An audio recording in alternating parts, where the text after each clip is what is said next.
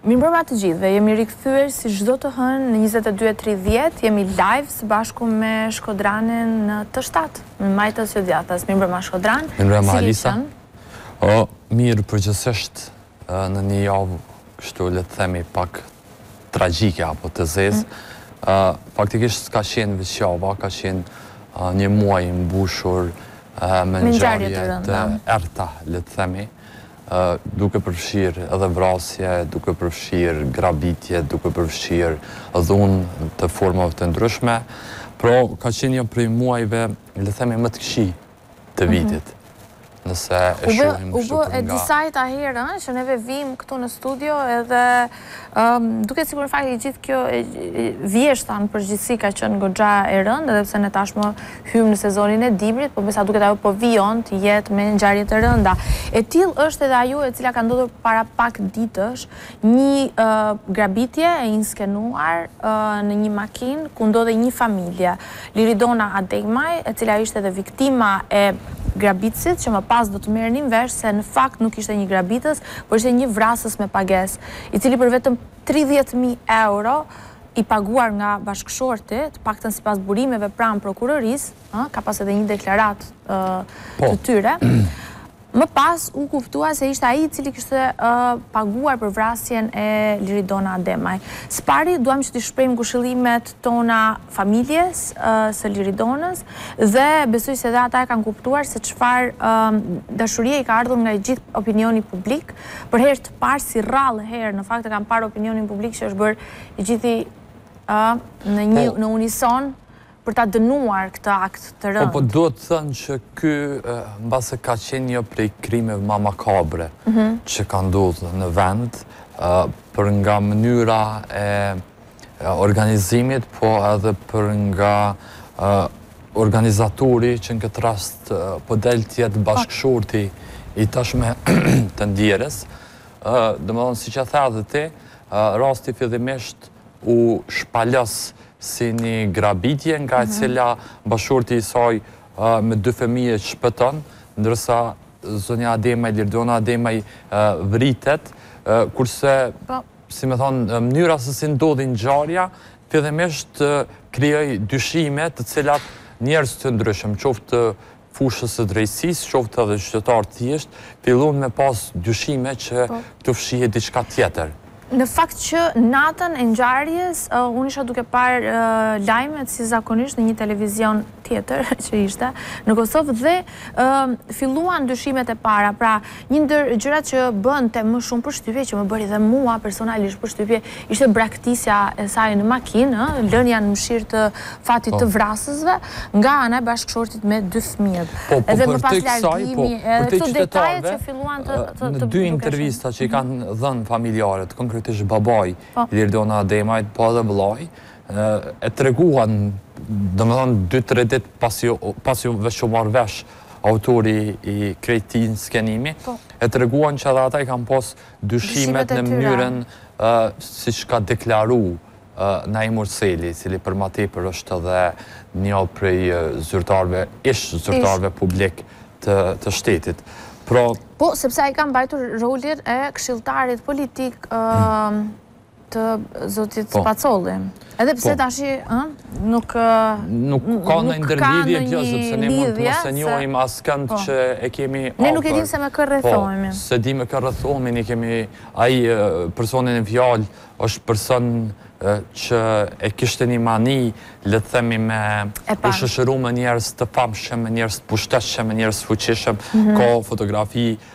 prej yjeve botërorë si Dua Lipa e Rita Ora, me kryeministrin e Shqipërisë, me politikanë, thuajse secilin politikan të Kosovës, me aktorë e këngëtarë të ndryshëm, kjo s'do të thotë ndonjë gjë, po...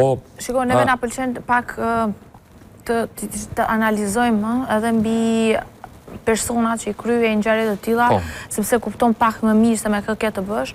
Po ta shikoje kështu në një piktur pak më të madhe nga larg, dukej si një narcizist i vërtetë, domethënë, kur po, e shikoje, nëse mund ta përshkruaja, por megjithatë ajo e cila është jashtëzakonisht e rëndë, është siguria e grave, sepse sidoqoftë, edhe pse kam dëgjuar shumë shpesh që thuhet që shiko se një vrasës me pagesë mund të ishte edhe për një burrë, pra kjo nuk është gjinore, kjo është e pavërtetë. Pse është e pavërtetë për mendimin tim? Sepse neve nuk kemi dëgjuar prej kohësh që të jetë një grua e cila kryen një krim ndaj një burri, e le më një grua ndaj një gruaje, që s'besoj që ka ndodhur ndonjëherë ose duhet të jetë shumë e rrallë në Kosovë. Prandaj, thënë këtë, sidomos duke konsideruar edhe shumë akte të tjera të dhunshme në përgjatë dy viteve të fundit, sidomos pas pandemisë në Kosovë, ku edhe vihet re një një shtim i rasteve ndaj grave, neve duhet që ta adresojmë këtë. Domethënë, duket se ka një emergjencë gati kombëtare për mbrojtjen e gruas në Kosovë. Po, për t'iu kthy edhe një herë pastaj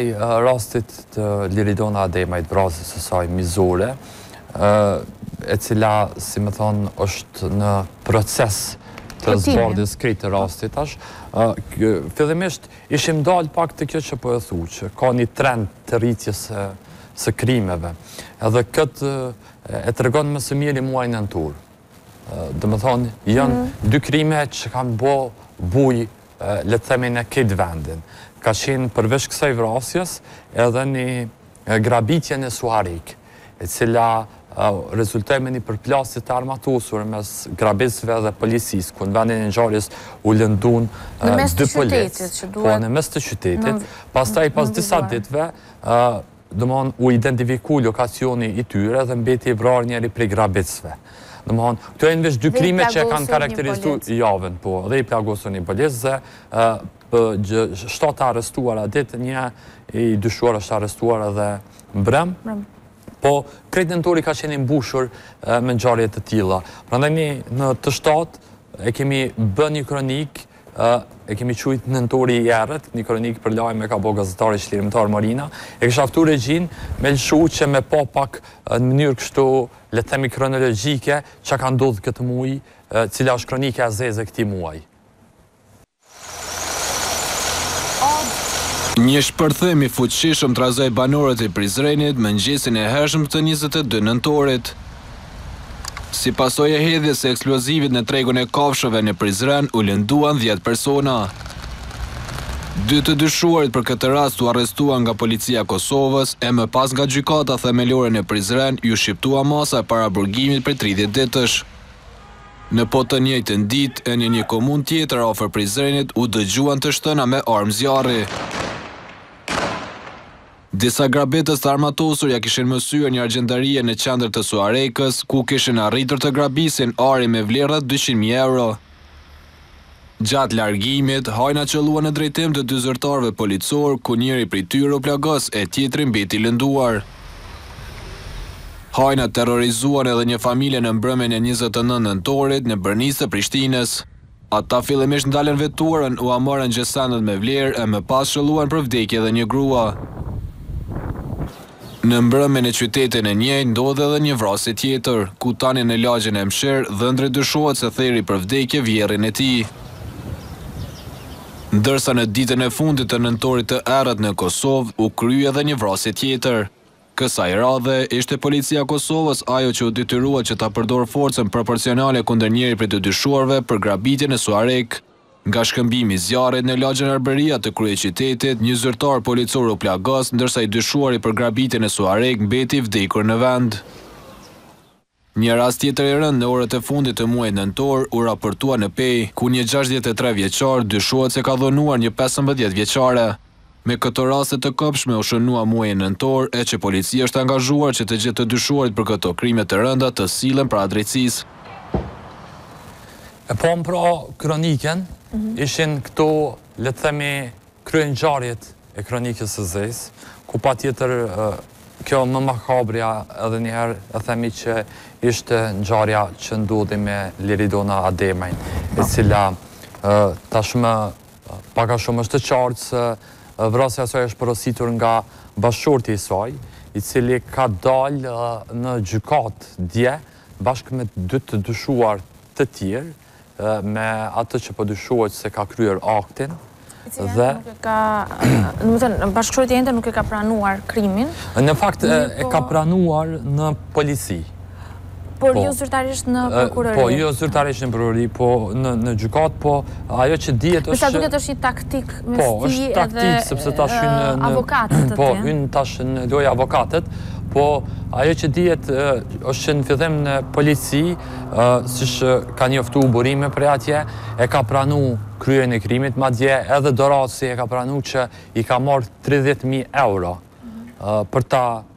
kryer këtë vepër makabër dhe është po ashtu edhe një person i tretë i dyshuar, i cili pak a shumë po dyshohet për bashkëkryerje në krim, për ndërmjetësim, le të themi, të këtij krimit. Ndërsa përpiqemi që të japim fakte mbi atë se çfarë ka ndodhur, e kam gati shumë të vështirë që, domethënë, të arrij ta konceptoj se si mundet një bashkëshort një natë përpara të ndaj krevatin edhe të flej me nënën e fëmijëve të tij, e ndërkohë këtej nga ana tjetër të jetë duke programuar, ëh, duke, duke planifikuar, planifikuar po. vrasjen e bashkëshortes së tij. Po. Do të thënë është jashtë çdo lloj është pa fjalë të po, lë. Po për, për atë mendoj që ky krim e merr një ngjyrim edhe ma të tmerrshëm, sepse si me thon është bo kurban një antar familjeje, me planifikim, për çfar do motive që të kenë qenë. Për çfar do motive se i lexova disa jo pasuri, jo probleme. Sidoqoftë, ajo çka ke karakteristike ke prej ditës djeshme, kur këta dolen para gjykatës, sepse e thashë edhe ma herë që në intervistimin pas arrestimit, gjithmonë sipas burimeve, është pranu vepra edhe prej dorastit edhe prej zotit Murseli si porositës i saj, po dje vetë avokatët, sidomos avokati i zotit Murseli, domethonë ishin krejt të paqasshëm edhe të painteresuar për të komunikuar me mediat. Domethonë, ata që folen, kënë familjarët, që dorën në zemër e kishin një qëndrim jashtëzakonisht kështu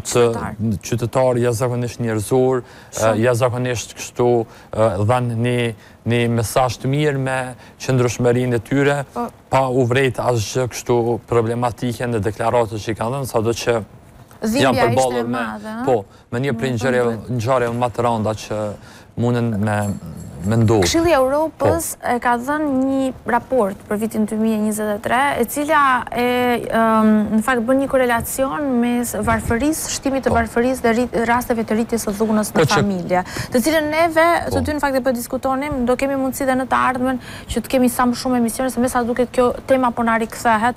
Neve këtu e kemi në thonjza, e kemi qarë një rast të tillë përpara disa kohësh, rikthehet prap e prap e prap, kështu që ndoshta ka nevojë që edhe në media të diskutohet edhe më shumë kjo. Për t'iu rikthy edhe një herë rastit, në seancën e djeshme, domethënë dolën detaje prej dosjes së prokurorisë, mhm. detajet janë të tmerrshme, domethënë ajo që merret vesh, ndër të tjera, është që Naim Murseli, pra bashkëshorti, E ka siguru armën për dorasin, me të cilën do të vritej gruaja e tij apo nëna e dy fëmijëve të tij. Duhet me theksu gjithashtu se për këtë ngjarje, para fillimit të seancës ka pas dje një organizim, një aktivitet protestues, domethënë para gjykatës, kurse nesër në ora gjashtëmbëdhjetë, më falni, në ora tetëmbëdhjetë, është paralajmëruar edhe një protestë. Kështu që ne, Do ta ndjekim tash edhe një kronikë, e cila shpërfaq detaje nga dosja e Prokurorisë, që janë të tmerrshme, dhe pas kronikës do ta diskutojmë edhe organizimin e të martës në orën tetëmbëdhjetë, po edhe krejt këtë fenomen që është jashtëzakonisht shqetësues të vrasjes së shumë grave në vendin tonë përgjatë viteve. E një ndër përfaqësuesit e organizatës QIKA do të jetë Blenda Asllani me ne në studio, vetëm pas pak ndiqeni kronikën dhe më pas rikthehemi në studio me Blendën. Nata e njëzet e nëntë nëntorit ishte e kobshme për familjen Ademaj nga fshati Rracaj i Gjakovës. Vajza e tyre Liridona e cila po udhëtonte në rrugën Dalip Alshiqi në Prishtinë bashkë me burrin dhe dy fëmijët ishte cak i një grabitje të armatosur. Rreth orës njëzet e njëzet e pesë nga një veturë e tipit BMW me targa të huaja, kishte dalur një person i maskuar duke e qëlluar për vdekje tridhjetë vjeçaren me një plumb në qafë.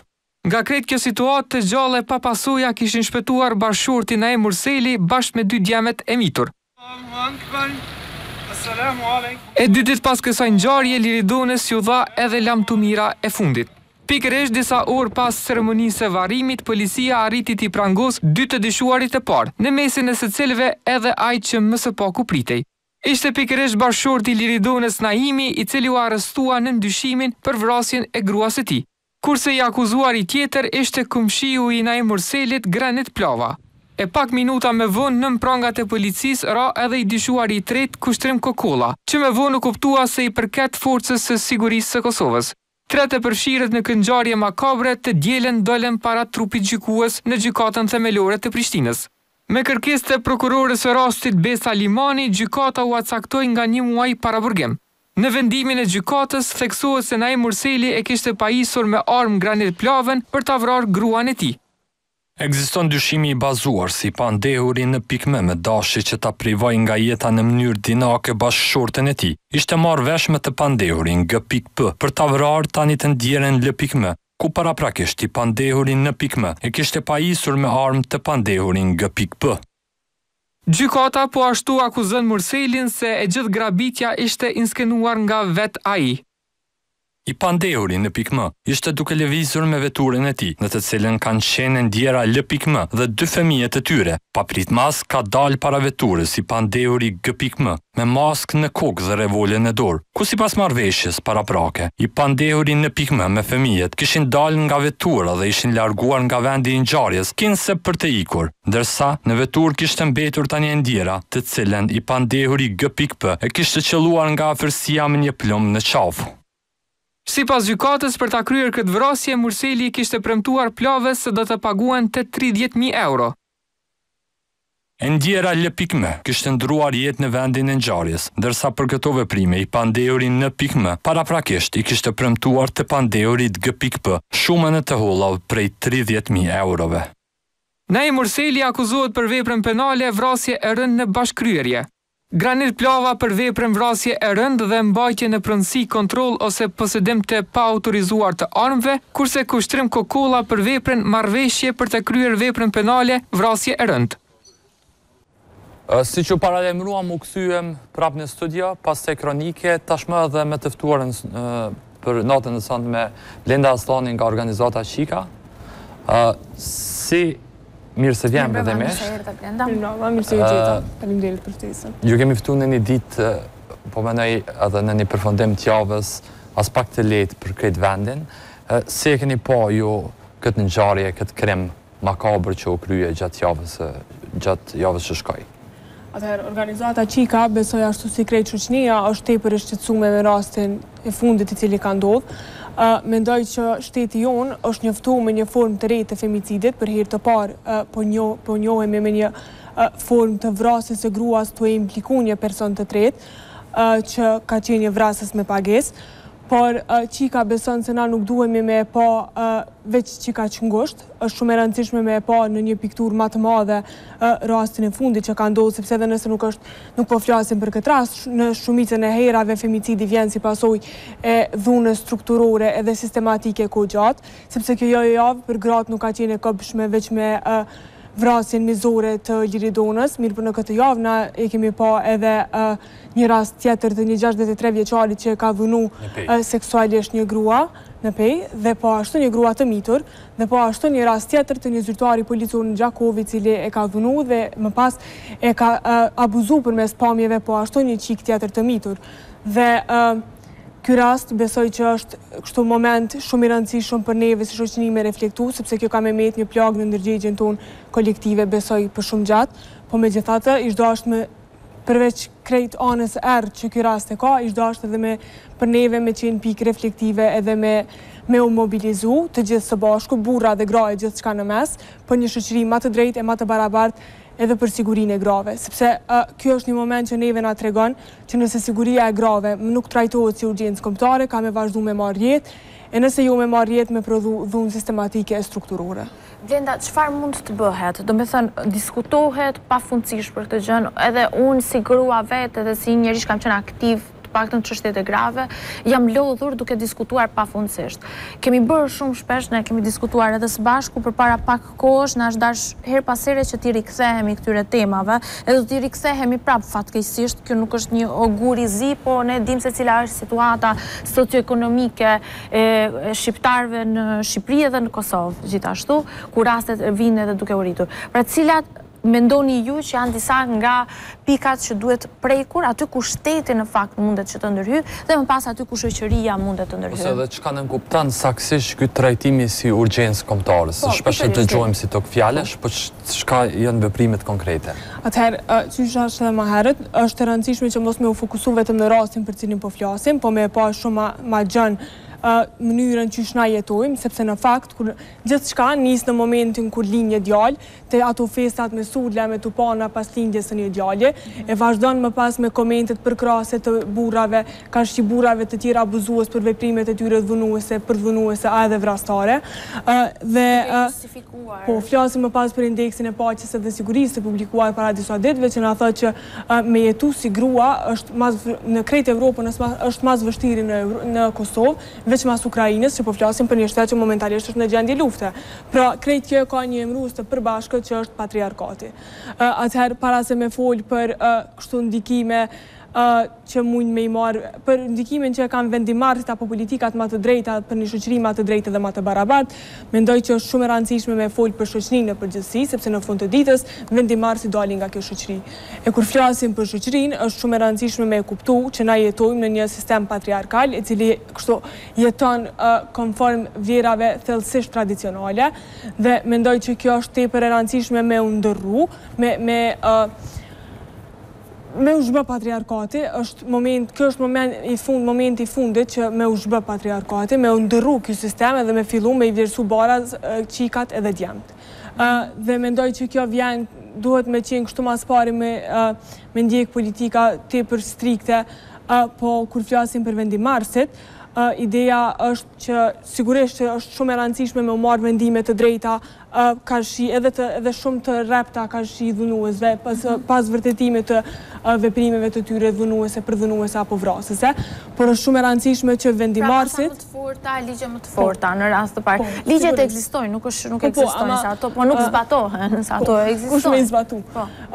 Siç kesh tu thënë, shumë është e rëndësishme që kjo pjesa e vendimeve pas kryerjes së aktit, por po mendoj që edhe ky rast Përveç se për neve si shoqni, duhet me kanë kështu një pikë reflektuese edhe për vendimmarrësit që e qeverisin këtë vend, po ashtu edhe për institucionet e drejtësisë, që veç veç dënimet mas kryerjes së veprës nuk mjaftojnë. Është shumë e rëndësishme që institucionet, e QIK-a i bën ftesë krejt institucioneve të Republikës së Kosovës, që jo veç me trajtu drejt edhe baraz për me pru drejtësi për viktimat e femicidit edhe për viktimat e dhunës me bazë gjinore, Po me i kthy sytë te masat parandaluese, sepse qysh po e shohim, meqenëse na po i kemi ligjet, edhe po dënohen në rastet ma të shumta ata që vërtetohen që kanë kry akte dhune apo vrasje ndaj grave, është shumë e rëndësishme, se veç që kjo s'po mjafton, është shumë e rëndësishme me e kuptu që qysh jemi tu funksionu për momentin, që kjo nuk është mirë, që kshtu nuk duhet me kon.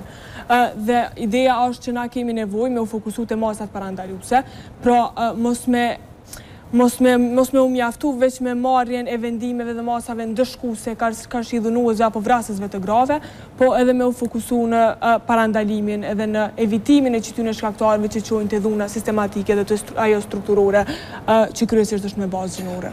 Vazhdimisht hidhet një faj, po mendoj edhe gjykohen le të themi më shumë te institucionet që se si trajtojnë këto raste dhe se si merren me to, si e keni pa atë rastin konkret i fundit, rasti Liridona Ademajt, punën e institucioneve, po flasim më shumë këtu për policinë e cila mbrenda një kohe shumë të shkurt arriti me zbardhë një pjesë të rastit, konsideroj, mjaft madhe. Sigurisht për neve u kanë shumë e rëndësishme, me njëherë mas publikimit të rastit edhe asaj çka ka ndodhë, për neve u kanë shumë e rëndësishme edhe epilogu që do t'i jepet nga institucionet, mhm.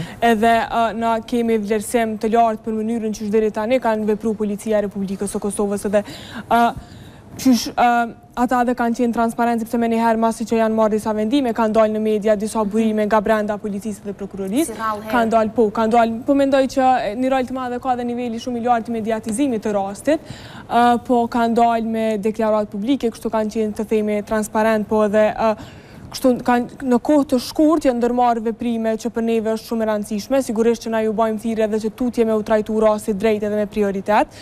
Megjithatë, na e kemi një shqetësim për dy kemi shqetësim për disa prej pikave që mund të jenë sekuenca kështu edhe të shkurtra, për shembull, tek rasti dje është mbajtë seanca dëgjimore, mhm. edhe për neve është shumë e rëndësishme sepse dorasi bashkë me Dy të arrestuarit e tjerë që është bashkëshorti i cili ka pagu dorasin për me vra Liridonën dhe po ashtu me një bashkëpunëtor tjetër në kryerjen e krimit kanë hy përmes një një pike të fsheht në prokurori e që kjo po mendoj që nuk ka pas naj arsye që ata sepse na po jau dim identitetet i dim kush janë ata dhe nuk po mendoj që ka pas naj arsye për. E pse mendon që është bo kjo?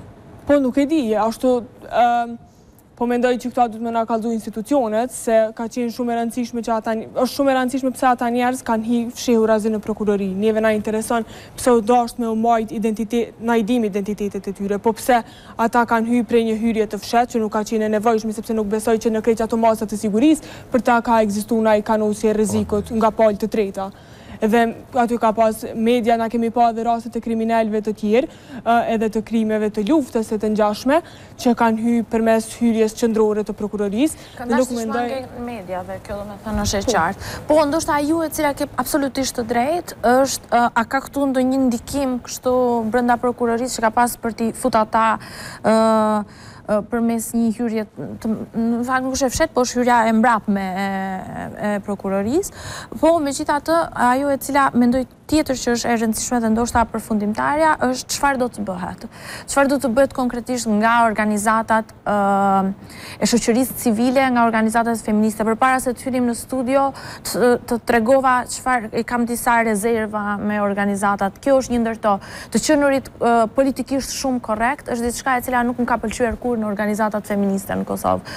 Edhe jo vetëm në Kosovë, por edhe në Shqipëri. Mendoj që ka ik ajo kohë, nuk ka më hapësirë për të qenë politikisht korrekt dhe është koha për të qenë shumë konkret se çfarë mund të bëhet. Se nëse vazhdojmë pastaj do kthehemi prapë këtu, prapë do ta diskutojmë. Po, atëherë me qenë politikisht korrekt, Është kështu një farë manie e disa organizatave në shoqërinë civile, po mendoj që kjo mani nuk i prek organizatat feministe në Kosovë, sepse kemi pa në protestat e fundit edhe ato që kanë pas kështu nivel masiv të organizimit, ka pas edhe aktiviste të arrestuara, të cilat për shkak jo të frustrimit, po për shkak të revoltës që e kanë karshi sistemit, kanë guxu me ba diçka që nuk është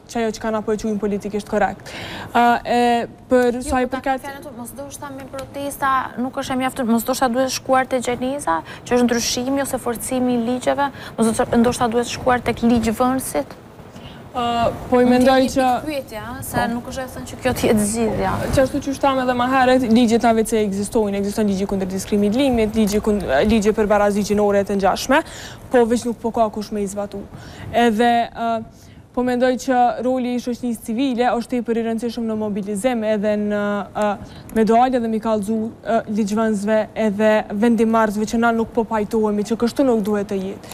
E kur flasim për çka është tu ba shoqënia civile, dje e kemi pa një aksion gjatë para seancës dëgjimore të kolektivit për mendim edhe veprim feminist, e që është i njëjti kolektiv që nesër e ka organizu një protestë e cila fillon në orën tetëmbëdhjetë. Në sheshin Zahir Pajaziti, kjo protestë është mbështetë prej krejt organizatave feministe, përfshi edhe organizatën Qika, dhe kjo protestë thirr në angazhim gjithëpopullor, pra mendoj që po ashtu edhe këtu duhemi me reflektu që dhuna me bazë gjinore nuk është ma veq një problem i organizatave feministe apo i aktivisteve feministe. Mendoj që rasti i fundit na ka kallzu që neve na duhet si shoqni, burra e gra e gjithçka në mes, me u angazhu për një shoqni ma të drejtë e ma të barabartë, dhe kjo nuk bjen ma veq në domenin e angazhimit feminist. Kjo protestë është shumë e rëndësishme për njerëz me dalë edhe me kallëzu frustrimin dhe revoltën e tyre karshi jo veq rastit të fundit po karshi krejt rasteve që të të dhunës me bazë gjinore që është ushtru në mënyrë sistematike në shoqninë tonë sepse këtu po flasim për një rast po ky rast nuk është rast i izoluar sepse kjo në fakt Dhuna sistematike edhe dhuna strukturore si përfundim e ka femicidin. Edhe mujna me folë, për shembull, në bazë të databazës të platformës, një e pabarabartë me një që është platforma e organizatës Qika, prej datës një deri me datën tridhjetë e një tetor të vitit dy mijë e njëzet e tre, në Policinë e Kosovës janë raportuar njëqind e një raste të dhunës me bazë gjinore. E kam një pyetje pikërisht për femicidin, në reagimin që e pat lidhje me vrasjen, Termin femicid e përmendi edhe presidentja Vjosa Osmani, që është e rrallë sepse s'kemi dëgju mhm. krerë institucionesh që ta përmend si mhm. term. Si e shihni këtë? Po. A mendoni që si me thonë, ka një trajtim ma serioz, apo ka nis me pas një trajtim ma serioz prej krerëve të institucioneve, karshi këtij shqetësimi që fillimisht e kanë shpreh organizatat feministe. Më në fund. Për neve është shumë e rëndësishme që dikush, një institucion tepër i lartë dhe një person që vjen prej institucioneve me përmend fjalën femicid, sepse sigurisht që këtu po flasim për një krim i cili është makabër e krim monstruoz të gjitha, po nuk mjafton në një reagim institucionesh me thonë që është krim monstruoz dhe krim edhe kështu krim makabër, makabër, po. Duhet me përmend që rast vrasja e Liridonës është femicid. E për neve ka qenë shumë e rëndësishme që edhe presidentja, po edhe kryeministri edhe pse reagimi i tij ka qenë të nesërmen, ai e ka shkruar që ai s'e ka përmend decidivisht fjalën femicid, po ka thënë që Liridona është vrarë sepse ishte grua.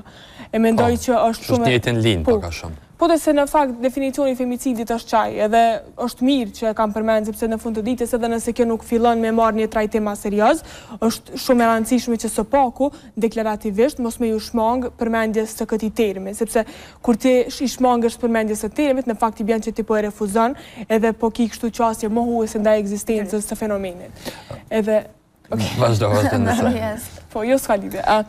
Atëherë, po për neve është shumë e rëndësishme, nuk po mendoj që domosdoshmërisht kjo i bjenë që ka me qenë kështu si një fillesë e trajtimit ma serios të rastit, po megjithatë është shumë e rëndësishme veç përmendja e termit edhe kështu. Po mendoj, kisha dashtë diçka me shtu që kjo qasja mohuese nuk vjen veç prej liderëve, po është shumë e rëndësishme me kujtu këtu edhe një farë Na e kemi një farë kulture të stigmatizimit. Edhe edhe rastet si vrasja e Liridonës, po edhe të tjera, e kemi një farë tendence që me i qujtë si rast, si raste që vijnë prej njerëzve që kanë probleme të shëndetit mendor. E kjo është tepër e rëndësishme me me thonë që kriminelët nuk janë persona që kanë probleme të shëndetit mendor, sepse kjo së pari e amniston dhunën, pra, jo e së dyti, ka po, raste, por po, ka jo raste, ata mund të jenë, por jo domosdoshmërisht, vetë se je kriminel nuk të bën domosdoshmërisht Shmërisht me qenë person që ke probleme të shëndetit mendor. E kjo së pari është kështu qasje amnistuese ndaj dhunës, e së dyti është stigmatizim ndaj personave që kanë njëmend probleme me shëndetin mendor. Por siç e thashë është shumë e rëndësishme që sepse ky rast veç nuk ka mujt me u shpjegu ndryshe, po është shumë e rëndësishme që edhe është thanë. Po du me u ndalë edhe te një dimension, mbase me lujt pak avokatin e djallit, sepse vazhdimisht organizatat feministe adresojnë kritika për institucione, organizojnë protesta. Po i kemi dy gjëra që mbase është mirë me i diskutu. E para punës, pse nuk arrijnë që qëto aktivitete me kon konstante. Na e dim që kemi pas rastin e dhunimit të njëmbëdhjetëvjeçares, janë mbajt 2-3 protesta, pas një kohë, sot nuk flitet për ta. flitet nëse ka ndonjë lëvizje nga organet e drejtësisë, po sot shoqëria e ka harruar 11 vjeçaren. Në anën tjetër ka një kritikë për organizatat feministe në përgjithësi që si me thonë ajo hapësira ku ndërveprojnë o zakonisht një pjesë e vogël urbane. Domethënë nuk po arrijnë me depërtu aty ku problemi ma i thellë me mentalitetin, që janë zonat e thella, domethënë zonat ma rurale. Si i komenton këto dy gjëra? Po, atëherë ma s'pari, po ia nisi prej këtaj të dytës për me dalë te e para, mendoj që është shumë e rëndësishme me kuptu kapacitetin e kufizum të organizatave, sidomos të organizatave që janë në zhvillim e sipër. Mhm. Sepse organizatat të cilat, si kryesisht organizatat feministe operojnë kryesisht në kryeqytet, dhe kjo është për shkak të mundësive më të mëdha që ju ofrohet edhe për me qenë kështu një farë linje komunikimit me qendrën si vendimmarrje, po edhe me me shoqërinë në përgjithësi. Edhe nuk po besoj që naj organizatë, jo veç në vend, në rajon edhe më gjerë, ka kapacitete aq të mëdha sa me mbërri në krejt strukturat dhe celulat e shoqënisë, sidomos në vendet ku ky problem është shumë ma i theksum, siç mund të flasim për shembull për zonat e thella rurale ose për zonat që janë kryesisht të të banuara prej komuniteteve jo shumicë ku niveli i dhunës është edhe ma i naltë se sa që flasim për shembull për zonat urbane ose siç është zona e kryeqytetit.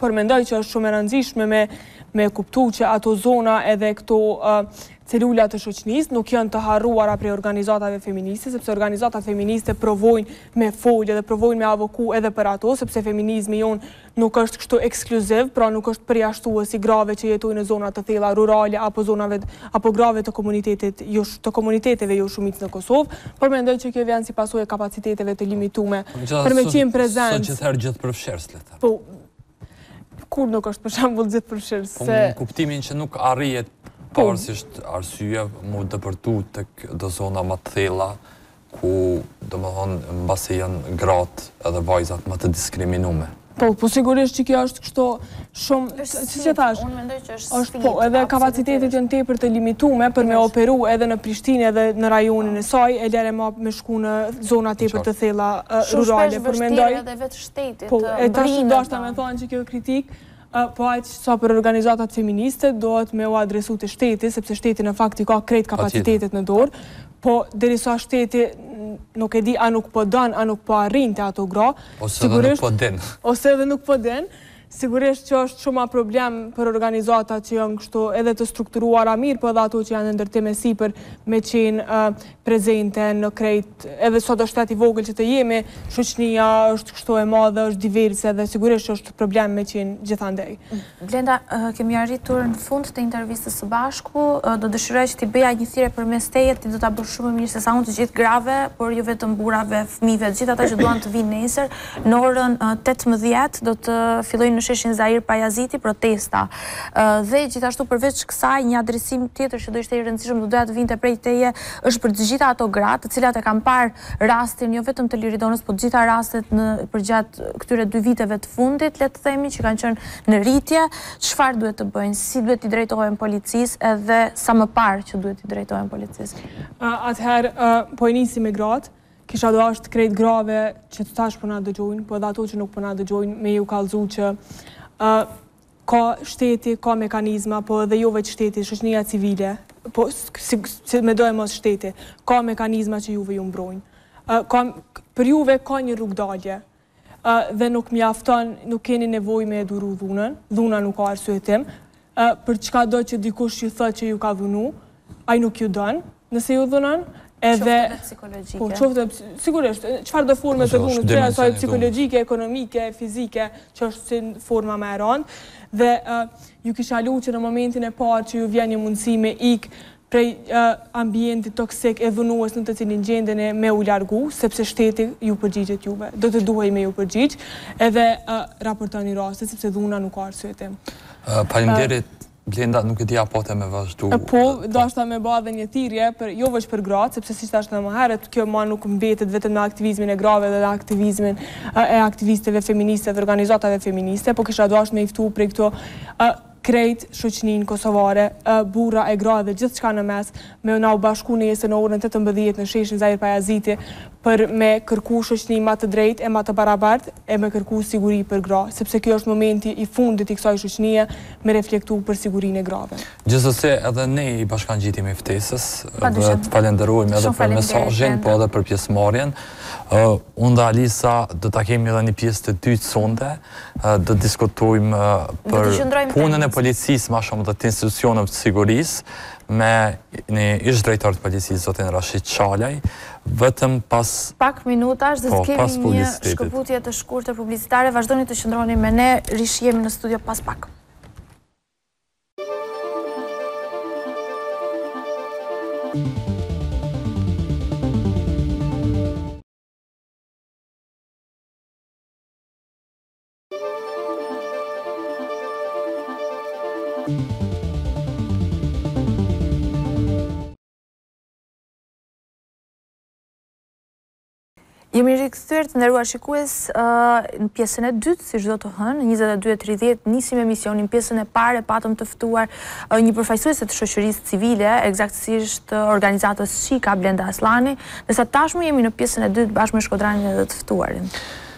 Po tashmë jemi në pjesën e dytë edhe siç ju kemi njoftu përmes rrjeteve sociale, i ftuar me ne është Rashit Qalaj, ish-drejtor i policisë, tani e ka pozitën e deputetit të Partisë Demokratike të Kosovës në Kuvendin e Kosovës.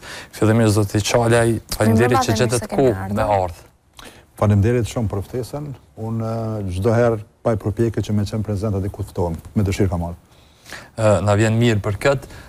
Megjithatë keni ardh në një moment, le të themi, të pakëndshëm. Na në një pjesë të parë që realizojmë vetë, e shfaqëm një kronikë ku flet për një sërë ngjarjesh mjaft, le të themi, të errëta që kanë ndodh sidomos në këtë muaj, e fokusin kryesor mbase e kishte vrasja e një gruaje Liridona Ademajt, që siç po merret vesh, autor i inskenimit të vrasjes është bashkëshorti i saj, Naim Murseli. Si e keni pa gjithë këtë rast, për të folur pastaj edhe për veprimet e policisë që i ka ndërmarrë që nga fillimi? Po me thënë të drejtën, gjatë këtij muaji të fundit, Kosova fatkeqësisht ka qenë në një presion ka aspekti psikologjik për shkak të rasteve që kanë ndodhur, sidomos rasteve të grabitjeve që kemi pas. Dhe në ato raste të grabitjeve ka pasur edhe shkëmbim zjarri në mes të forcave të rendit dhe dhe grabitësve në këtë rast. në disa raste duke pas edhe edhe plagosje të policëve edhe lëndime të tyre dhe po ashtu në një rast para disa ditësh u vra edhe njëri nga grabitësit nga forcat e rendit për shkak se ata kishin shkrepur me armë zjarri kundër policisë. Mendoj një veprim i drejtë i policisë, meqenëse çdo polici në botë, kudo që sulmohet uniforma e policisë, policët e kanë detyrë me edhe me ligj të policisë, që të reagojnë në mbrojtje të jetës së tyre, në mbrojtje të kolegut dhe në këtë rast mendoj që ka qenë një veprim mjaft i mirë, edhe pse ende s'kam dëgjuar ndonjë verzion zyrtar nga nga ata që janë duke hetuar rastin, sidomos nga Inspektorati Policor i Kosovës, mirëpo së paku nga perspektiva ime, gjithmonë kur policët veprojnë në mbrojtje të jetës së tyre dhe jetës së kolegut të tyre apo jetës së qytetarëve të tjerë, mendoj që është një veprim i mirë, i drejtë dhe i duhur. Rasti i vrasjes së një bashkëkombëse tanë, Liridona Ademajt, është një rast i tmerrshëm, i cili e ka tronditur krejt Kosovën dhe jo vetëm Kosovën, meqenëse kam pa edhe në portale të ndryshme të huaja të paraqitur këtë rast duke informuar suedeze, po dhe të rajonit, dhe mendoj që çdo qytetar i Kosovës është tronditur nga rasti i vrasjes, po sidomos nga motivet dhe kryerësit potencial të, të këtij krimi. Thjesht Liridona, përveç që është një nënë, është një pjesë e pandashme e dhimbjes së tërë popullit shqiptar në plan të parë, po besoj që kushdo që ka dëgjuar për rastin i ka të njëjtat ndjenja. Një rast i rëndë, edhe pse me thënë të drejtën, Edhe unë si ish-drejtor i policisë, po edhe me shumë kolegë të mi, qoftë në politikë, qoftë në polici, posa që ka ndodhur rasti kemi pas dyshimet, meqenëse kanë qenë disa indikacione se kah do të shkojë hetimi. Është shumë mirë që është zbuluar mjaft shpejt. Mirëpo është e rëndë sidomos për familjarët në këtë rast të Liridonës, për fëmijët Meqenëse ata me një farë mënyre tani përveç që s'e kanë nënën, besoj që për një kohë shumë gjatë s'do kenë as babanë. Meqenëse nëse vërtetohet ajo që realisht veç po raportohet në media që babai ka qenë njeriu kryesor në këtë vrasje makabre, në këtë inskenim, mendoj që ai së paku po të pyetsha unë dhe po të jep dënime në bazë të ligjeve të Kosovës, ai duhet të jetë në burgim të përjetshëm për sa t'është jeta. Në qoftë se ky është një vlerësim i juaj i cili kam përshtypjen se i përkon edhe vlerësimit të shumicës së popullsisë në Kosovë, edhe ne gazetarët jemi shprehur, unë personalisht kam thënë që meriton burgim të përjetshëm. Jo vetëm ky rast, por edhe shumë raste të tjera të mëparshme, mirëpo ne kemi parë se sa rrallë në fakt është përdorur burgimi i përjetshëm nga qoftë është propozuar nga prokuroria, por edhe nga gjykatësit në Kosovë. Tani unë e di që këto janë dy pushtete të ndara dhe ju nuk mundeni që të ndërhyni në të. Megjithatë, çfarë presioni mundeni që të bëni ju që të zbatohet ajo ligjshmëri e fortë të cilën e parashikojnë në fakt Kodi Penal i Kosovës? Po me thënë të drejtën edhe edhe edhe edhe kur flasim për për rastin, edhe tash në studio televizive, ndoshta meqenëse unë tash jam në politikë, ndoshta i bie si ndërhyrje politike në fakt për këtë rast, mirëpo më shumë po flas si si qytetar i këtij vendi. Ë vrasja ë nuk është vetëm vrasja e Liridonës. Paramendoni që t'i mirret jeta dikujt në prani të fëmijëve.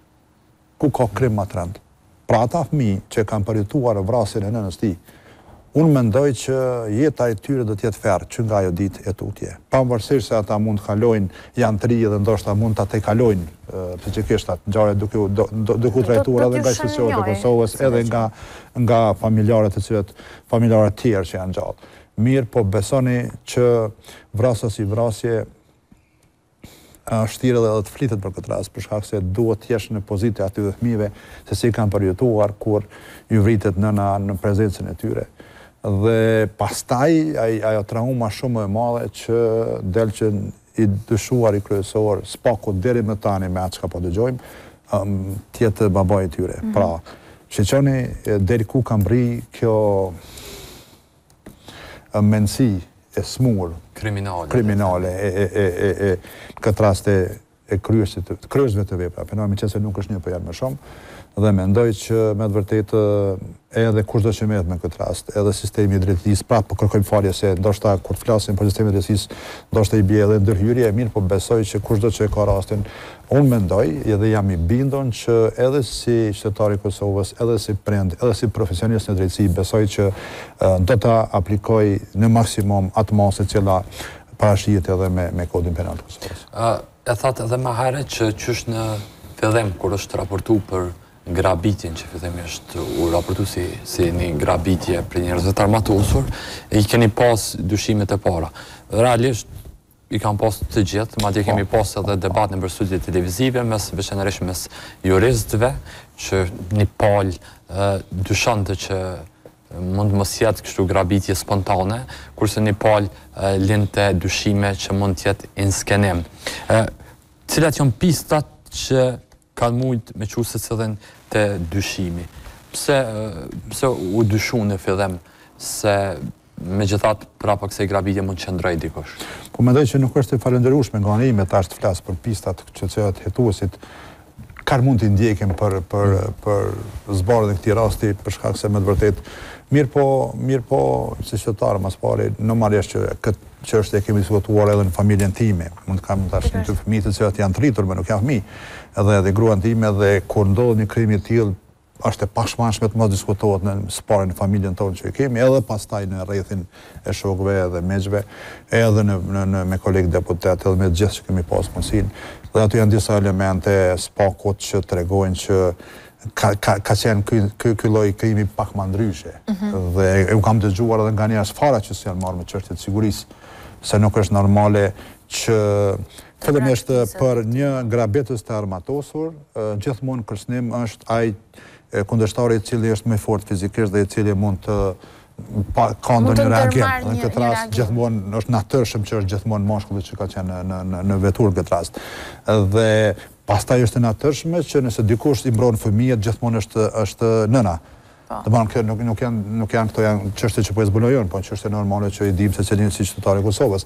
Mirëpo atë çka po dua të them se nuk po dua të flas më shumë për këtë çështje është një profesionalizëm i lartë i policisë së Kosovës, i zyrtarëve policorë që kanë punuar në këtë rast, të cilët po tham me bindje të plotë, që do t'ia kishin zili kushdo, cilado polici, sado që të jetë e fortë edhe sado që të jetë me përvojë të larta ajo. Pra, në shumë raste, vrasjet e tilla i duhet kohë e muaj, ndoshta edhe vite të zbulohet kryerësi, mirëpo kjo ka ndodhur në mënyrën më të shpejtë të mundshme që mund të të ndodhë ndonjëherë. Pra, si qytetar i këtij vendi dhe si ish-drejtor i policisë, po edhe si prind, i kam konsideratat më të larta për gjithë ata policë dhe police që kanë punuar që ky rast të zbardhet sa më shpejt që është e mundur. Zoti Çaraj, ndërsa vetëm para Pak kohësh ne kemi parë një protestë të policisë, e cila është mbajtur përpara kryeministrisë së Kosovës, përpara parlamentit, ku ndjes ku janë edhe gjithë ministritë e tjera se s'dija si ta quash atë, përpara godinës së qeverisë.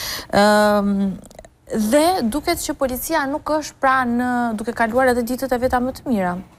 Paçka kësaj, mesa duket kjo nuk ka ndikuar në mënyrën se si policia po vepron dhe po i shërben popullit të Kosovës, që është gjëja më e rëndësishme. Por ne vetë duhet t'i rikthejmë sytë, sepse gjithçka është politike, asnjë gjë nuk është rastësore dhe duhet t'i rikthejmë sytë që pasi të falenderojmë Policinë e Kosovës, të i adresojmë edhe problemet të cilat është duke i kaluar Policia e Kosovës. Nëse mundeni të na rendisni disa, ju keni qenë goxha vokal edhe e keni shprehur edhe pakënaqësinë tuaj ndaj Ministrit të Brendshëm në Kosovë. Po më lejoni të vazhdoj edhe me disa suksese të tjera që i ka pas policia e Kosovës, sidomos këtë muajin e po, fundit. Po, te rasti argjendarisë. Po, shikoni, ne mm, kemi po. qenë dëshmitarë të gjithë si qytetarë të vendit që ndodhën dy grabitje të armatosura, njëra në Ferizaj dhe tjetra në në komunën e Suharekës, nëse nuk gaboj. Dhe në të dy rastet kemi parë një ballafaqim me armë të policisë së Kosovës me ata kriminelë të cilët kanë kanë tentuar dhe kanë grabitur të mira materiale nga qytetarët e Kosovës dhe nga institucionet bankare në këtë rast. Dhe keni pa që policia e Kosovës, pavarësisht njësive se ku punojnë, polici i Kosovës në uniformë, në baza ditore, ballafaqohet me rreziqe të ndryshme. Mhm. Dhe ky është profesioni i cili për mua, Është profesioni i cili gjatë ushtrimit të tij has në një rrezikshmëri gjithmonë, që nga momenti kur polici i Kosovës del nga shtëpia e tij, e gjersa në atë momentin kur ai kthehet. Pra, shikoni jo gjatë orarit të punës, se nuk mjafton. Polici është në detyrë njëzet e katër orë dhe janë ata të vetmit të cilët ballafaqohen ditë e natë me situata të tilla. Edhe një polic rrugor madje, edhe ai. Të gjithë po flas, të gjithë policët, mos flasim për njësi speciale, po po flas për të gjithë policët në përgjithësi. Kemi pas këtë rastin e dytë që ndodhi në në Suharekë, grabitja e asaj argjendarisë, me ç'rast gjatë ballafaqimit me armë u plagos njëri nga policët dhe një tjetër u lëndua.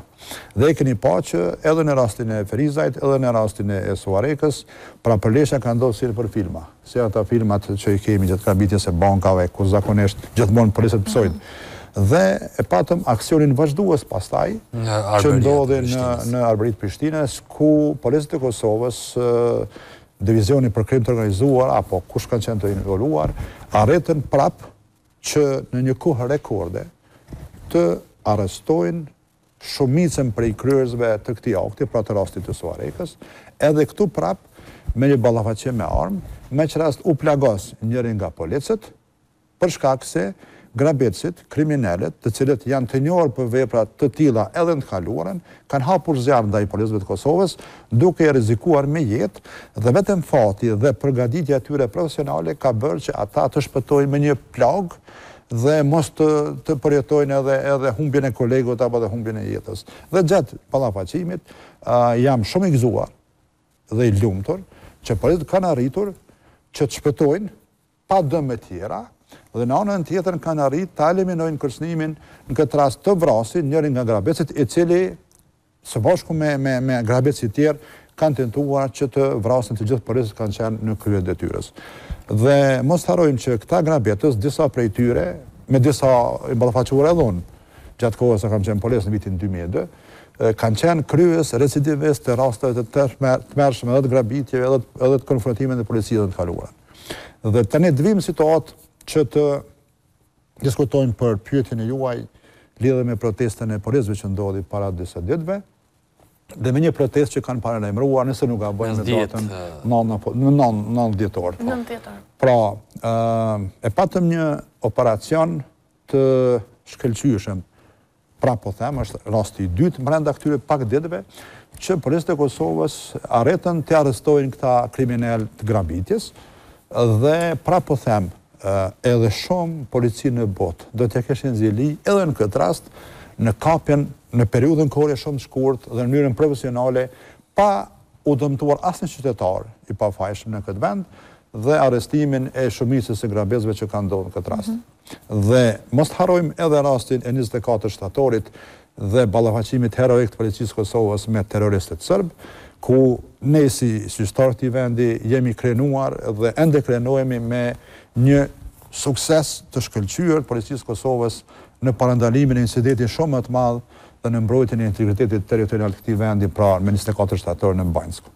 Dhe të gjithë ne, edhe qytetarët, edhe ne si parti politike, po edhe qeveria u mburrëm atë ditë me policinë e Kosovës dhe pastaj ndodhi ajo që askush nga ne nuk e priti, që qeveria e merr fillimisht një propozim e pastaj e shndërron në, në vendim për pagesën e rrezikshmërisë apo pagesën e shtesave të rrezikshmërisë, pagesa këto që ia kishte ndaluar që nga muaji shkurt i vitit të kaluar, më falni, i kishte ndërprerë që nga muaji shkurt i këtij viti, më falni, i vitit dy mijë e njëzet e tre, me hyrjen në fuqi të Ligjit mbi pagat.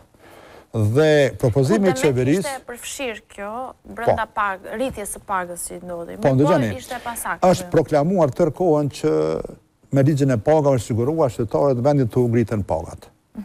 Ndoshta ka ndonjë sektor që ka pasur ngritje të pagave, mirëpo kur flasim për sektorin e sigurisë, e në veçanti kur flasim për Policinë e Kosovës, policët e Kosovës nuk kanë pasur ngritje të pagash. Kanë pasur disa segmente të caktuara në kuadër të Policisë së Kosovës, mirëpo njësi të caktuara, siç për shembull njësiti i parë intervenues, ata kanë pas ulje pagash diku mbi shtatëdhjetë e katër euro. E paramendoni çka është në një situatë krize si kjo, që ne të gjithë po jetojmë, me ta ul pagën. Dhe ka pas ulje pagash edhe për kadetët policorë, edhe për policët e rinj, po çka është më e keqja ka pasur Ulje të theksuar të pagës për Drejtorin e Përgjithshëm të Policisë, i cili ka një mijë obligime. Nuk është lehtë të jesh Drejtor i Përgjithshëm i Policisë. Për mua është njëra ndër pozitat më të ngarkuara dhe më të rënda në këtë shtet. Dhe t'i ulësh pagën Drejtorit të Policisë për pesëqind e njëmbëdhjetë euro në bruto, zëvendësit e tij në katërqind e shtatëdhjetë euro, Drejtorit të Departamentit, kolonelëve, nënkolonelëve, majorëve, besoj që kjo është për gjykim.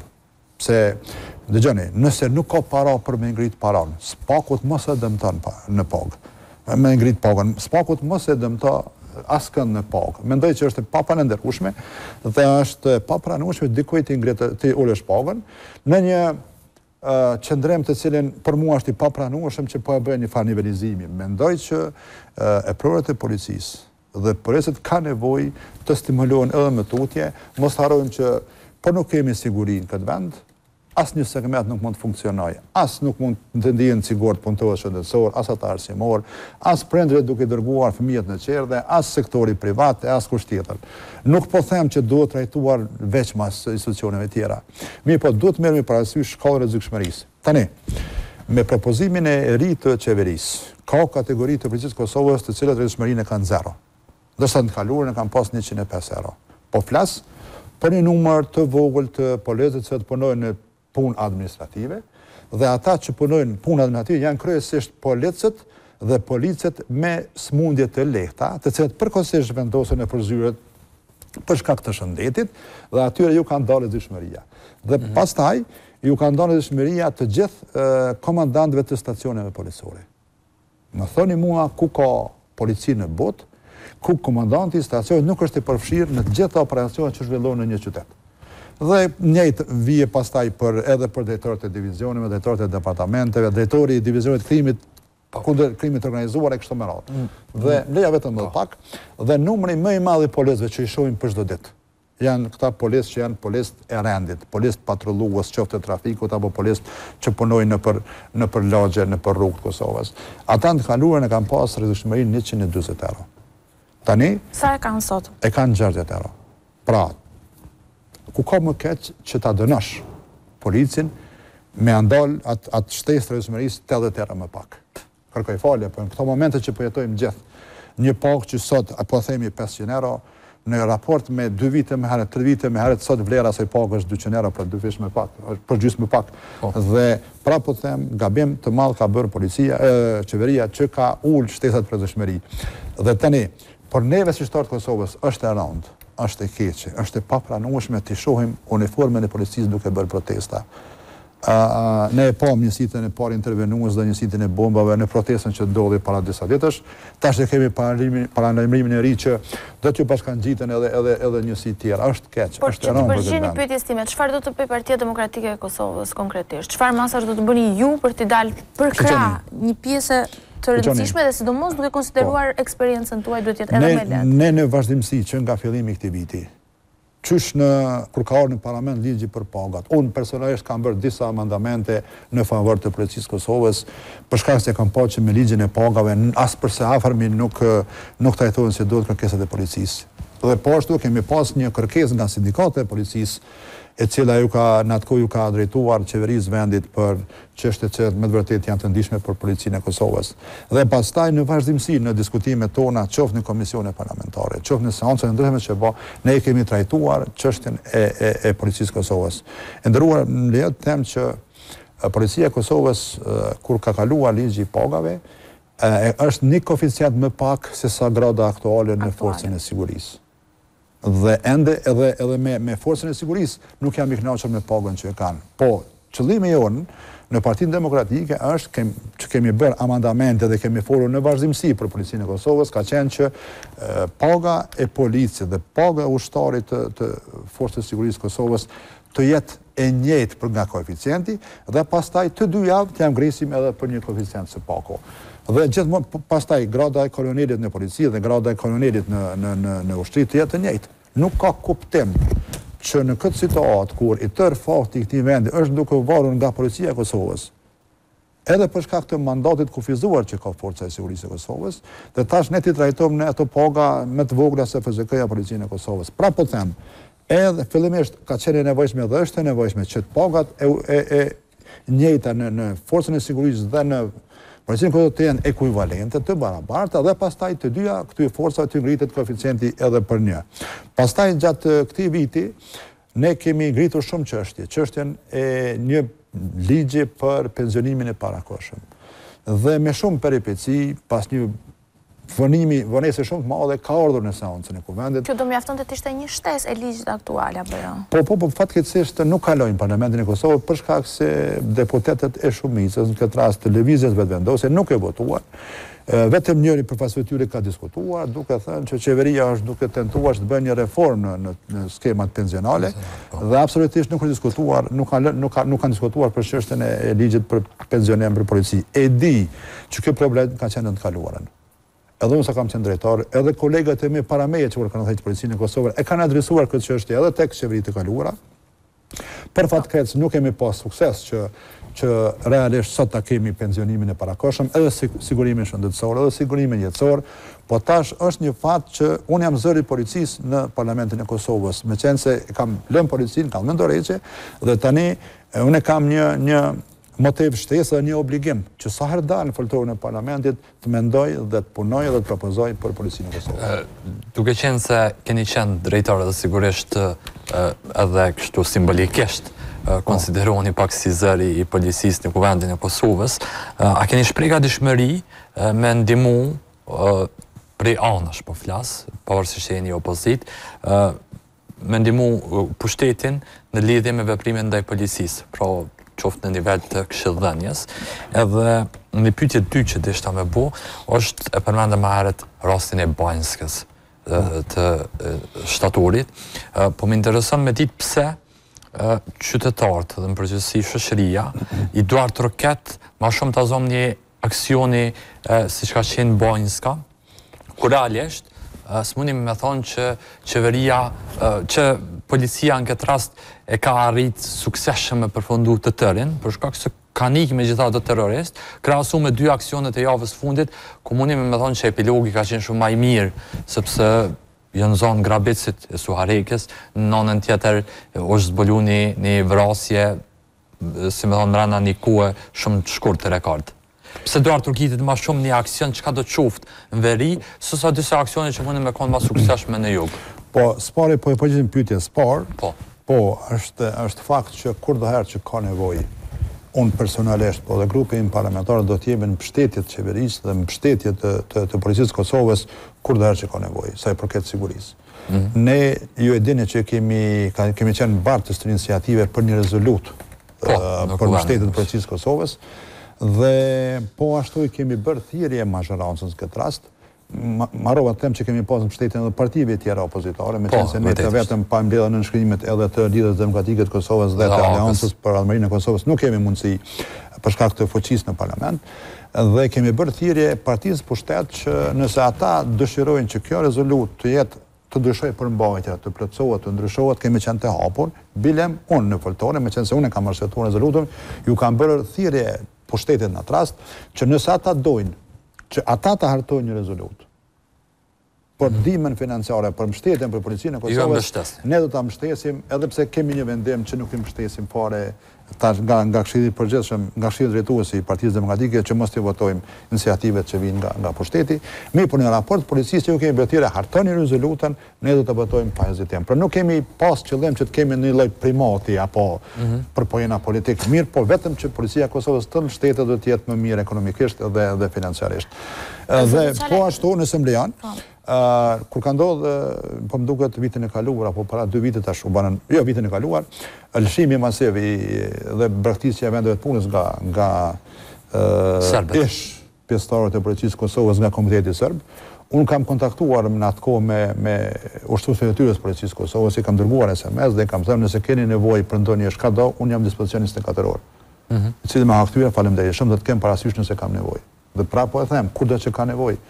Ne e kemi një polici, e kemi një shtet. S'ka lidhje në çfarë të bëre policia për të ardhur në një fjalë. Mirëpo ne jemi qytetarë të Kosovës dhe kemi obligim që të kontribuojmë me atë sa dim, mhm. që të kemi një institucion më të mirë, më të fortë dhe më efikas. Ë te pyetja e dytë, ne duhet t'i ndajmë. rastin që ka ndodhur më njëzet e katër shtator, se është një rast shumë më i komplikuar, më i rrezikshëm, ku kemi pas të bëjmë edhe me një ndërhyrje nga jashtë në në shtetin e Kosovës, që ju e dini që terroristët nuk janë qenë nuk kanë qenë thjesht vetëm një grup terrorist, por kanë qenë një grup i organizuar, i mbështetur, i financuar, i stërvitur nga shteti i Serbisë. Po, dhe ë Policia e Kosovës ka vepruar pa ndonjë plan paraprak, meqenëse ngjarja ka ndodhur herët në mëngjes, në orën dy e tridhjetë, ai ballafaqimi me marrjen e informatës të Policisë së Kosovës, patrollave të para, ka qenë ndoshta edhe momenti kyç që ky operacion të jetë shumë i suksesshëm. Fatkeqësisht kemi pas një rreshter të policisë të vramë, i cili tashmë është shpallur si hero i Kosovës, mirëpo ka qenë në rrezik që të vriten të gjithë aty, meqenëse ata kanë hasur një pritë të organizuar të një grupi terrorist të superarmatosur edhe me pajisje eksplozive. Dhe ngjarja si është zhvilluar pastaj, me kyçjen graduale edhe të njësive tjera të profesionalizuara të Policisë së Kosovës, ka bërë që ky operacion të përfundojë ashtu siç ka përfunduar. Mirëpo nuk pajtohem me juve që ky operacion nuk ka qenë i suksesshëm, Ndoshta nga nga pikëvështrimi i qytetarit i cili nuk merret shumë me sigurinë edhe ashtu duket, mirëpo duke i pasur parasysh edhe rrethanat që kanë ndodhur, edhe lokacionin, edhe Jo nuk thashë s'ka qenë i suksesshëm, s'ka qenë i suksesshëm sikurse po këto dy tjera. Po, e qartë, mirëpo ne ne që jemi ma shumë lidhur me sigurisë i kuptojmë këto gjëra pak më ndryshe dhe për mua Maja e suksesit të këtij operacioni ka qenë qasja e Policisë së Kosovës dhe njësive elite të saj në raport me me me civilët që kanë qenë brenda në Manastir dhe qytetarët që kanë jetuar në atë fshat, meqenëse ju e dini dhe ne së bashku që nuk ka pasur asnjë të lënduar, që ndoshta kishte qenë qëllimi kryesor i këtyre terroristëve që Policia e Kosovës të shkaktojë viktima në brenda në Manastir e pastaj të akuzohet Kosova për për luftë ndaj serbëve, për luftë ndaj sidomos ndaj ndaj objekteve të trashëgimisë kulturore ortodokse serbe dhe pastaj ky problem do të ishte diskutuar edhe në Këshillin e Sigurimit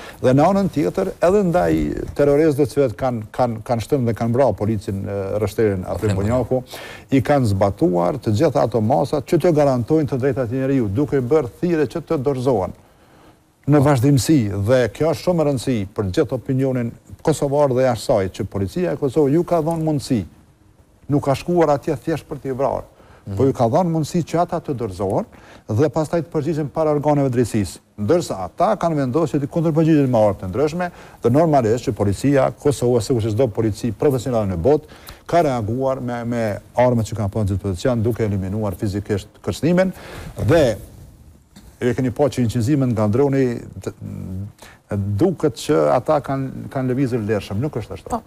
Nuk është ashtu. Ë droni incizimet kanë qenë nga lartësi mjaft e madhe, mirëpo droni nuk e paraqet ë konfiguracionin e po. terrenit, lokacionin, kishën, dhe unë mendoj që i keni pa që edhe gjatë tërheqjes së atyre kriminelëve, terroristëve, ju i keni pa plumbat që kanë qenë duke shkrepur nga policia e Kosovës në drejtim të tyre në mënyrë që ë Meqenëse s'kanë qenë e mundur të arrestohen së paku të eliminojë sa më shumë terroristë. Po. Okej, ndërkohë si një vend pas lufte Kosova, e cila ka armatim të madh ende mes njerëzve, edhe pse shumë prej tyre janë larguar pas luftës, ne e dimë që kjo është situata reale, por nga ana tjetër jemi duke parë se me lehtësi shumë të madhe njerëzit po armatosen. Pra, Po e elaboronim edhe pak më parë në fillim të emisionit me Shkodranin po e diskutonim se si e kishte marrë vetë armën, për shembull në rastin e bashkëshortit të zotit Murseli, edhe ia kishte dorëzuar dorazi. A ka një nevojë për çarmatosje, le të themi, ose çarmatosje të asaj pjese që e ka e mban ilegalisht? Nëse s'gaboj me shifra, po. janë dikund përmbi 100.000 armë që janë në duart e qytetarëve, po. nëse jo 200.000. Por shiqoni, jo vetëm Kosova, e cila ka kaluar nëpër një luftë, por dhe vendet e rajonit, duke u nisur nga Kroacia, Bosna, Serbia, Mali i Zi, Shqipëria, këtë rast Kosova, kanë kaluar në një periudhë, mund të them, mjaft të trazuar. Shqipëria jo një luftë, po e kemi pas atë rastin e atëherë kur kur nëntëdhjetë e shtatës që realisht kanë shumë, shumë armë kanë dalë në duar të qytetarëve, ndërsa pjesët tjera që i përmenda kanë kaluar një pjesë të luftës dhe po, qëndron fakti që Në këto vende ekziston një numër rekord i armëve ilegale që janë në posedim të qytetarëve fatkeqësisht dhe Kosova është e njëjtë. Shumë herë që nga çlirimi i vendit, qoftë me iniciativa të KFOR-it, qoftë me iniciativa të Ministrisë së Brendshme, janë dhënë shumë mundësi që qytetarët t'i dorëzojnë armët në mënyrë vullnetare pa pasur pasoja, pa pasur pasoja. Mirëpo fatkeqësisht dorëzimi i armëve ka qenë vetëm simbolik. meqenëse po, edhe sot ekziston një numër mjaft i madh i armëve në posedim dhe kjo është edhe kërcënimi kryesor. Dhe unë mendoj që tanimë është koha që Qeveria e vendit, në këtë rast Ministria e Brendshme dhe Policia e Kosovës duhet të bëjnë shumë që qytetarëve t'u jepet mundësia t'i legalizojnë këto armë, që t'i regjistrojnë këto armë në mënyrë që pastaj të jenë nën kontroll. Ose t'i dorëzojnë ata që nuk kanë që duan. Shumica, ose t'i dorëzojnë, po. Shumica e vrasjeve, plagosjeve në këtë vend bëhen nga armët që janë ilegale dhe që ndoshta këto armë janë përdorur nga dy e tri herë në krime të ndryshme. Dhe unë mendoj që ende ka kohë dhe duhet që sa më shpejt që është e mundur që Kosova, në këtë rast organet kompetente, të japin mundësinë qytetarëve prapë me kampanja të ndryshme që të dorëzojnë armët apo t'i legalizojnë ato. E keqja është që tregtia me armë është shumë e lehtë këtu në vendet e Ballkanit. Në Kosovë, Shqipëri, Kosovë, Mal i Zi, Kosovë, Serbi, qarkullojnë armë të vogla dhe është mjaft e vështirë, meqenëse mundet edhe të kesh sukses përkohësisht këtu, po kur vijnë armët nga jashtë atëherë prapë është kërcënimi i njëjtë. Megjithatë kështu për llojet e krimeve, ka shpesh ekspertë sigurie që thojnë që Kosova qëndron më mirë në raport me rajonin, edhe sa i përket vrasja, vrasjeve masive, dhunimeve. Po më intereson për periudhën që ke qenë drejtor i policisë, ë çysh kanë qenë këto statistika edhe me cilat krime jeni përballur më së shumti, sepse ju keni po, statistika shumë. Po, më lejoni të them atë atë çka thashë më herët, tani nëse bëjmë një analizë më gjerë, ajo bie ndesh me atë çka po ndodh në botë. Ju e dini që në Shtetet e Bashkuara të Amerikës, në shumicën përveç në Chicago, në shumicën e shteteve, armët janë të legalizuara. Po. Dhe ne terrorizohemi përditë me lajme që ndodhin me vrasje të fëmijëve nëpër shkolla apo me incidente të ndryshme ku realisht persona të krisur vrasin me me dhjetra qoftë fëmijë, qoftë njerëz të rinj, qoftë kudo. Dhe jo vetëm në në kudo në botë. Kemi pas raste të vrasjeve masive në Suedi, në Norvegji, në në Në Australi. Në Australi e kudo. Pra kjo çështje është duke marrë një dimension pak më ndryshe në krejt vendet e botës dhe mendoj që është një një një një kërcënim mjaft i madh për për Për gjitha, për, për qytetërimin në këtë rast. Ë, po, ë, ka pasur raste të ndryshme edhe para meje sa ka qenë dikush tjetër drejtor, edhe sa kam qenë unë drejtor, kemi pas raste të ndryshme edhe të vrasjeve, edhe, edhe të grabitjeve, besa ka pasur raste. Ato shkojnë, shpeshherë shkojnë edhe me, me, me sezona, në këtë rast grabitjet, për shembull, më shumë të ndodhin uh, gjatë muajit, gjysmës së dytë të muajit nëntor dhe muajit dhjetor. Po, e kam edhe temë përse ndodh. Po, se bash e përmendi Alisa pak më po. herët këtë gjë, përse ndodh kjo, a ka një, si me thënë, pretekst? Po, është, është, është, është, ka edhe raste shumë të inskenuara, me thënë të drejtën, kemi pasë edhe biznese të mëdhaja në të kaluarën, që kemi zbuluar që ata kanë inskenuar grabitjet, për shkak se kanë mallin e siguruar dhe për shkak të sigurimeve të ndryshme, pra ka ndodhë raste që janë zbuluar, s'po du tash të përmendi biznes me emën, po, ka pasë raste të tilla, mirëpo ka raste edhe kur ky numër rritet për shkak të Shumë gjëra që ndodhin Viti i Ri. Muaji dhjetor është muaj i festave dhe njerëzit, qoftë bashkatdhetarët vijnë më shumë, qoftë njerëzit festojnë më shumë dhe kjo është arsyeja kryesore pse sidomos në muajin dhjetor kemi një numër gjithmonë ka qenë të shtuar të, të grabitjeve. Ë ne në të kaluarën në muajin nëntor dhjetor Por rrethanat kanë qenë ndryshe. Tani njësitë e reagimit të shpejtë dhe njësitë speciale janë të koncentruara më shumë në veri. Patrullat policore janë pa armë të gjata, meqenëse edhe ato janë dërguar në veri, ndërsa në të kaluarën ne gjatë muajve nëntor dhe dhjetor i kemi mbushur rrugët e qyteteve të mëdha me me patrullime qoftë të njësive speciale, qoftë njësive të reagimit të shpejtë dhe patëm filluar nga dy mijë e nëntëmbëdhjetë e këtej që edhe patrullat policore të jenë të furnizuara me armë të gjata, jo që është ndonjë ë ndonjë gjë e mirë që po vetë i sheh policët me armë të gjata nëpër rrugë, se kjo nuk është ndonjë ndonjë shenjë e mirë, mirëpo nganjëherë preventiva është më e mirë se sa të pastaj të të shpreh në situata ekstreme duhen masa ekstreme. Duhet sigurisht. Mirëpo tani për shkak të ngjarjeve në veri, kjo është duke munguar, mendoj që është dashur dhe duhet të mendohet që patrullat të kenë armë të gjata sa më shumë, sidomos gjatë muajit nëntor dhe dhjetor, që të parandalohen rastet sikurse që kanë ndodhur në Ferizaj e në Suharekë e kështu me radhë. Po më intereson nëse Alisa, nëse nuk jo, ke... Jo, jemi fare pra në po. fundit, kështu që po. unë kam edhe një pyetje të fundit pas teje. Po, nëse nuk ke pyetje, fillimisht, po më intereson me ditë pak për policinë e kryeqytetit. Meqë kryeqyteti dihet se ka qarkullimin ma të madh të njerëzve, a mendoni se është e nevojshme edhe sa kish me qenë efikase? Mendoj që është keqkuptuar kjo puna e policisë së kryeqytetit së paku tek ne këtu, për shkak se ju e dini që ligji mbi kryeqytetin ka disa vite që veç është, po, kaluar në parlament dhe aty në kuadër të këtij ligji parashihet edhe formimi i një policie të kryeqytetit, po për mua gabim. Për shkak se në atë kohë është bërë një lloj një lloj pazari të them kështu në mes të partisë që ka qenë partive që ka qenë në pushtet dhe dhe kryetarit të Prishtinës atëherë, por ka qenë çështja, së paku unë e shoh ashtu, për shkak se në atë kohë nëse s'gaboj ka qenë çështja e këtij pallatit që është afër afër stadiumit të Prishtinës, pra aty ka, po, qenë një lloj marrëveshje mes qeverisë dhe dhe në atë kohë kryetarit të Prishtinës. Ë, mirëpo, ligji për po, sa i përket çështjes së sigurisë, ligji mbi kryeqytetin mendoj që duhet të plotësohet dhe ndryshohet, të vijë në parlament, për shkak se në këtë ligj aktualisht parashihen disa gjëra të cilat e dëmtojnë shumë policinë e Kosovës. Aty parashihen që Komuna e Prishtinës, gjegjësisht kryetari i Prishtinës të jetë përgjegjës për caktimin e drejtorit rajonal të policisë. ë të ketë një rol mjaft të madh, pastaj të ketë të drejtë të formojë njësi të veçanta në kuadër të policisë së Kosovës që për mua është e papranueshme dhe nuk guxon të ndodhë kjo. Mirëpo policia e kryeqytetit duhet të mendohet pak më ndryshe. Fillimisht në stacionin në në Prishtinë janë tri stacione policore dhe disa nënstacione. Pra është stacioni policor Qendra, stacioni policor Jugu dhe stacioni policor Veriu.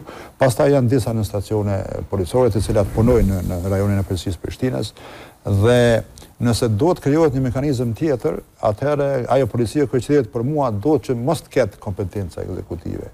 Po të kryejë punët, të kryejë punët e Kolektivit, po, po, komunitetit pak a shumë. Komunitetit, jo, të kujdeset për asistencë inspektorëve të ndryshëm komunalë, të jetë përgjegjëse për parkingun nëpër nëpër Prishtinë, po. të jetë përgjegjëse për menaxhimin e ndërtimeve pa leje, po normal, menaxhimin e koncerteve e manifestimeve po. që ndodhin, ndërsa policët pastaj, Policët që janë aktualisht në stacione policore, të jenë, të lirohen nga disa punë që nuk janë tipike policore, që realisht ata i kryejnë sot, dhe të fokusohen më shumë në ofrimin e sigurisë në në komunën e Prishtinës.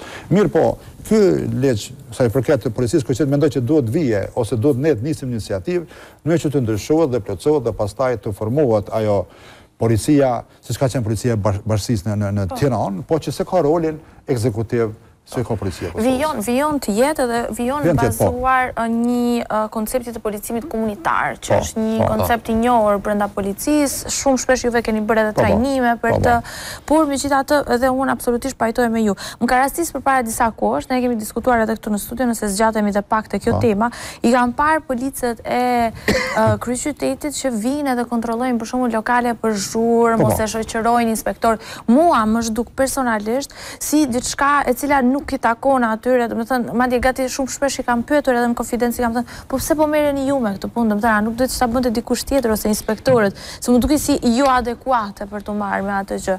Prandaj ndoshta kjo sikurse ju po e thoni, në qoftë se disa kompetenca le të themi kështu pak të panevojshme, sidomos duke duke vënë në konsideratë situatën në Kosovë, do i bënte mirë pra policisë. Po është fare lehtë, se mund të merren shembuj të ndryshëm në qytete të mëdha siç është Zagrepi apo qytete tjera, ne megjithatë nuk mund ndoshta të krahasohemi me Stokholmin apo me Berlinin, po mund të marrim shembuj rajonalë afër ku ne po jetojmë.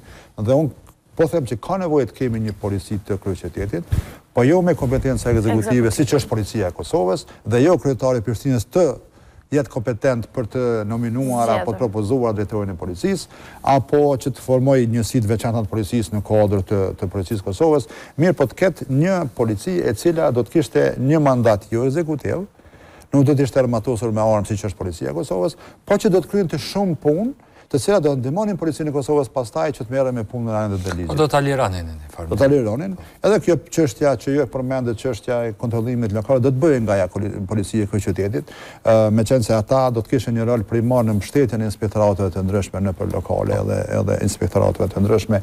Mos harrojmë që sot policia asiston në të gjitha institucionet tjera dhe fare pak nganjëherë ka mundësi që të kryejë punët që është e mandatuar me ligj. Asnjë ndeshje e futbollit nuk nis sot, sidomos Liga, Superliga dhe Liga e Parë e e Dytë, pa prezencën e Policisë së Kosovës. Asnjë ndeshje basketbollistike, asnjë ndeshje volejbollit. Dhe ku me i marrë Policia gjithë ato resurse që të jetë kudo. Ndërsa këndej ndodhin gjërat që me të vërtetë ata duhet, duhet të menaxhojnë protesta, duhet të menaxhojnë tubime, duhet të menaxhojnë shumë gjëra tjera të cilat,